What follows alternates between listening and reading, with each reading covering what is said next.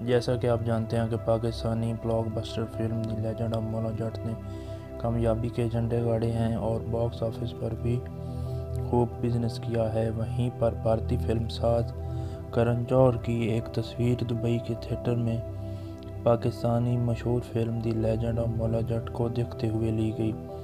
सामीन के एक रुकन ने सिनेमा में उनकी तस्वीर खींची जो अब सोशल मीडिया पर निर्देश कर रही है। करण जौहर पहली भारतीय शक, अवामी शख्सियत हैं जिन्होंने Pakistani block blockbuster the legend of Maula Jatt देखते हुए देखा गया है। हिदायतकार ने अभी तक फ़िल्म और इसकी वायरल तस्वीर पर कोई तबसरा नहीं किया। वाजह रहे कि पाकिस्तानी अदाकार फवाद खान करण जौहर की आखिरी फ़िल्म 2016 में रिलीज़ हुई। है दिल है मुश्किल उसमें नज़र आए थे।